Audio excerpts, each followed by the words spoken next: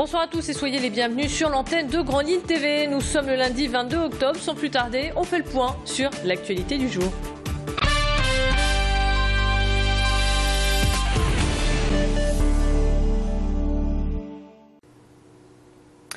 Attention aux intoxications au monoxyde de carbone, le redoux, l'humidité importante et le vent faible que l'on a actuellement accentuent le risque d'intoxication dans les prochaines 24 heures.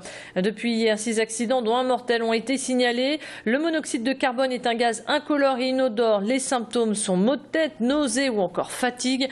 Pensez donc à entretenir vos appareils de chauffage. Coup de projecteur à présent sur une plateforme pour l'emploi qui vient de voir le jour sur la métropole lilloise. L'inauguration a eu lieu à Marc-en-Barœul, à la Cité des Échanges. Jeunes et entrepreneurs vont pouvoir se rencontrer. L'idée est de créer à terme 50 000 emplois. Voyez ce reportage, il est signé Tanguy Lécluse et Olivier Milleville. Nous sommes la région la plus jeune de France, celle aussi où le chômage de cette catégorie est le plus important. C'est pour enrayer ce paradoxe que la toute première plateforme pour l'emploi des jeunes Lille Métropole Pays du Pévélois est inaugurée devant 500 décideurs régionaux. L'expérimentation a duré un an et a permis à des centaines de jeunes de trouver un premier emploi. Je suis embauché chez GFI pour le compte de la SNCF en alternance. Je trouve que c'est une bonne idée le pacte parce que ça permet aux jeunes, enfin comme moi, d'acquérir directement un travail, enfin, de se rapprocher des entreprises surtout. Se rapprocher des chefs d'entreprise, c'est bien l'objectif affiché par la région. Cette plateforme est d'ailleurs présidée par un entrepreneur du Nord et s'installe à la Cité des Échanges, un lieu de passage important du patronat on crée une méthode, une méthode qui est de mettre les entreprises au rendez-vous des jeunes, c'est-à-dire d'être présent quand un jeune a envie de dialoguer, d'éclairer sa voix. Et c'est la raison pour laquelle nos chefs d'entreprise de Lille, qui sont 27, qui sont venus dans cette plateforme et qui seront rejoints par une centaine de chefs d'entreprise dans les jours qui viennent, et il y en aura 500 dans la région dans les mois qui viennent, disent très clairement leur confiance euh, dans les jeunes. Un dispositif ambitieux, il se veut complémentaire à ce déjà existant. Il n'y aura pas l'effet de millefeuille, il ne faut pas instituer ce programme, il faut qu'il ait lieu 4 ans et puis point, mais il faut se donner des objectifs ambitieux. 14 plateformes de ce type devraient être mises en place dans la région d'ici le premier trimestre 2013. Allez, à présent tous à vos stylos. Ce n'est pas la dictée de Bernard Pivot, mais presque. L'Université catholique de Lille a fait sa traditionnelle dictée de rentrée au profit de l'association ELA, Association européenne contre les leucodystrophies. Plus de 300 étudiants s'y sont collés. L'idée de sensibiliser les étudiants à l'orthographe, mais aussi à cette maladie, est de lancer officiellement l'opération Mettez Basket, course des étudiants au profit de cette même association. La dictée a été écrite par Alexis Jenny, prix Goncourt 2011 et a été par l'actrice Elodie Varlet. À leur côté, Benjamin, un jeune homme atteint de la maladie qui a pu témoigner auprès des étudiants. Je vous propose d'ailleurs, sans plus tarder, de l'écouter au micro de Macha Grunessen.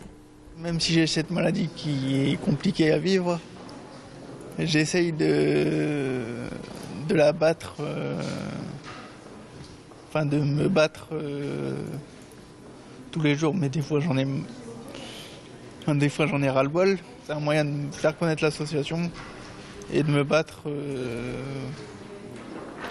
pour tous les autres euh, handicapés ou, personnes qui ne peuvent pas parler, qui ne peuvent euh, pas bouger,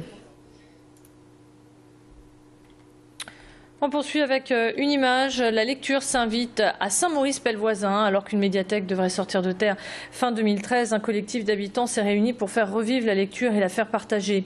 Le rendez-vous a été pris devant l'arrêt de métro avec des ateliers et des stands pour échanger un livre ou en parler. Euh, nombreux étaient les amoureux des lettres à venir eh bien, seuls ou accompagnés de leurs enfants. Des images signées Olivier Milleville. Du sport à présent, le Grand Stade sera en ébullition demain soir pour la troisième journée de Ligue des Champions. Lille accueille le Bayern de Munich. Match capital pour les Lillois car les Dogs sont bons derniers de leur groupe. L'enjeu est donc important. Malheureusement, contre les Bavarois, Rudy Garcia devra faire sans Rio Mavuba, encore blessé et indisponible d'ailleurs pendant plusieurs semaines. Et Marco Bassa pourrait être absent.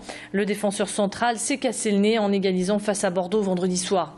Le Bayern de Munich, un adversaire redoutable pour les Lillois, mais rien n'est encore joué Franck Ribéry, qui est à Lille actuellement, et jouera sous les couleurs allemandes, estime que les Dogs peuvent encore sortir les crocs. En attendant, eh bien, il est content d'être à Lille. On l'écoute au micro de Tanguy Lécluse. Je suis très content de, voir Lille, comment, comment, comment il grandit et comment il a pu évoluer depuis quelques années avec de très bons joueurs. Euh, il y a quand même beaucoup de joueurs qui sont partis aussi euh, à l'étranger. Et euh, je suis très content aussi pour, pour les supporters, pour les gens et pour le Nord. Voilà, coup d'envoi demain soir à 20h45, un match qui vous sera possible de revoir, bien sûr, sur Grand Lille TV. Et puis on termine avec de la musique. Ce week-end, l'Afrique et ses couleurs ont été célébrées en musique à Lille Five. Un stage de danse d'Afrique de l'Ouest a été proposé aux amoureux du continent. Bye Assatou Yula, soliste des Amazones de Guinée, a fait le déplacement pour transmettre sa passion. Ici, la musique se fait en live avec des percussionnistes. Une journée organisée par l'association Corps et âme. Je vous propose d'ailleurs de découvrir en image un aperçu de cette journée.